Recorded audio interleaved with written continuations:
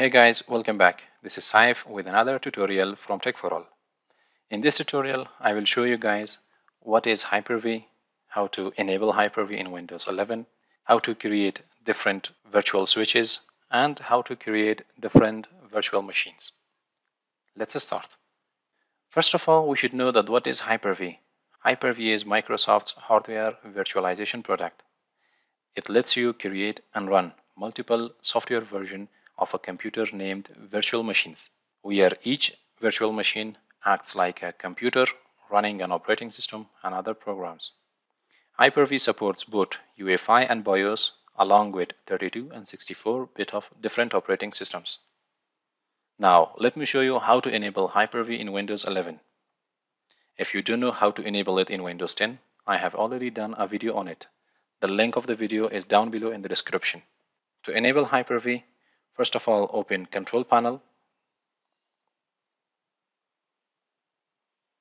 And from there, go to Programs and Features. On the right side of the screen, click on the Turn Windows feature on or off. From the Windows feature, select Hyper-V and press OK.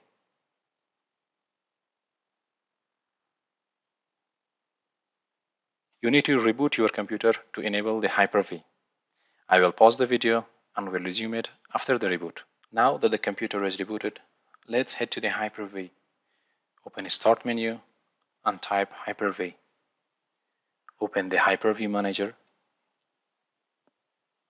First, I will cover the Virtual Switch Manager and how to create switches.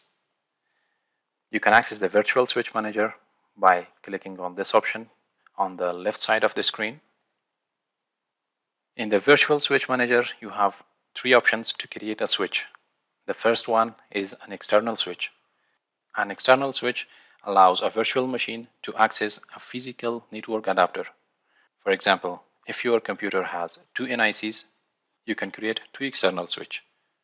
Through one, you can access your local network connections, and through another, you can access the live connection or internet. The second one is internal switch. An internal switch is created to allow all the virtual machines to communicate with each other and also these virtual machines can access your physical computer. Basically, I can say that an internal switch allows your computer to talk to virtual machines and enable the virtual machines to communicate with each other too. The third option that you can create a switch is private switch. By creating a private switch, you will allow the virtual machines to only communicate with each other. They will not be allowed to access a physical network adapter on your computer or to communicate with your physical computer. First of all, I will create an external switch. Click the external and click on create virtual switch. You can name it. For example, I will give it a name live connection you can type a node. From the connection type dropdown, you can select that which adapter should be accessed by this switch. I will select my PCIe gigabit internet adapter and click on the apply button. Here it says that creating an external switch might disrupt your network connectivity. That's okay. Click on yes button. Now let's create a new switch which will be an internal switch. Select the internal, click on the create virtual switch, give it a name. From the connection type, you have to choose internal network and click on apply button. Now let's create the third switch, which is private. Click on the create switch, give a name for it.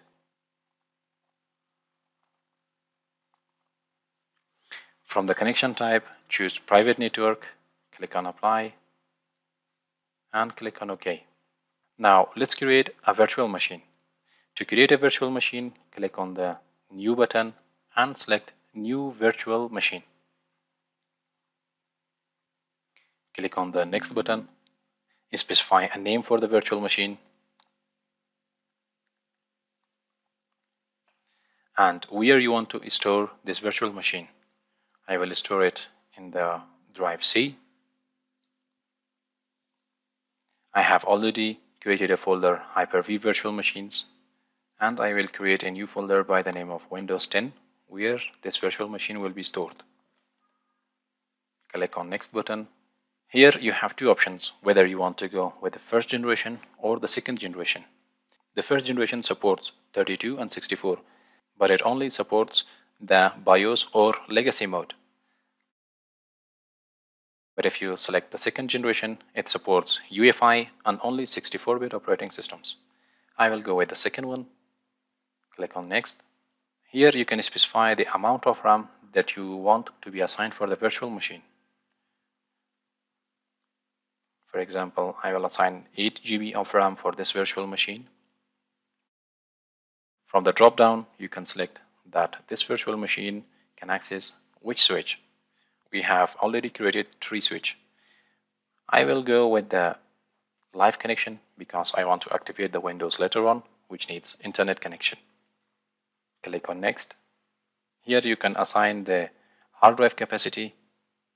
I will give it for example only 60 GB of my hard drive and it will create a virtual hard disk. If you have an existing virtual hard disk, select the second option, click on browse, select your virtual hard disk and then proceed. I will go with the first option and create a new virtual hard disk. Click on next. Here it asks you that how do you want to boot this operating system?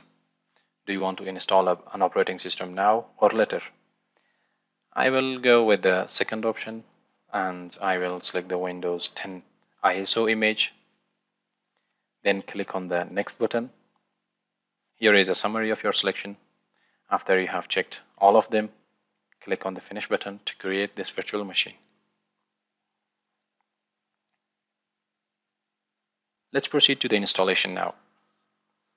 Right click on the operating system, click on connect. Now click on start button to start the virtual machine installation.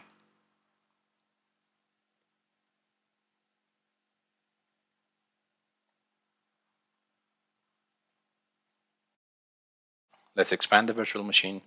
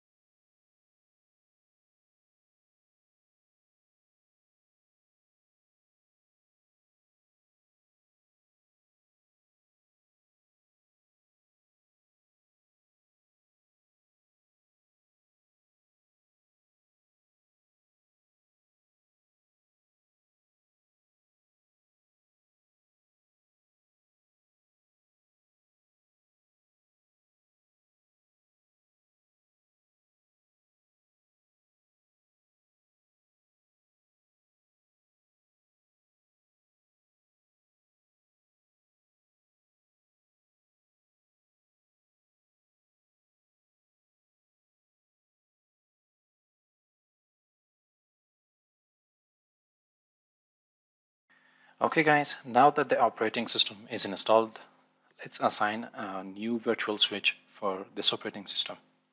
To change the virtual switch, all you need to do is close down this virtual machine. Don't shut it down, let it be turned on. Click on the settings on the right side of the screen. Click on the network adapter. If you want to change the current network adapter, then you have an option to do it from here. For example, I don't want my computer to have connection to the live connection switch. I will select the virtual machine switch, which allows this operating system to connect to other virtual machines. I don't want it to access the internet. Click on OK, then click on Apply. You're done. If you want to add an extra network adapter, you can do it while the machine is turned on or off. No problem. Click on the Add Hardware button, select Network Adapter, click on add button and from the drop down select your desired switch. For example I will go with the live connection this time. Click on apply and click on OK. Now let's see that whether these two virtual switches are assigned to the operating system or not. Let's connect to the operating system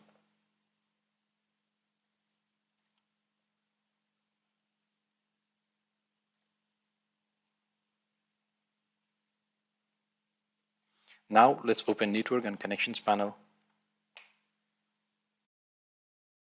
Here you can see that two network adapters has been assigned to Windows 10.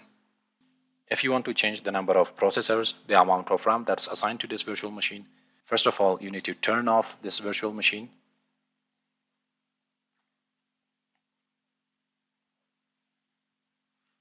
Then select the virtual machine and click on settings.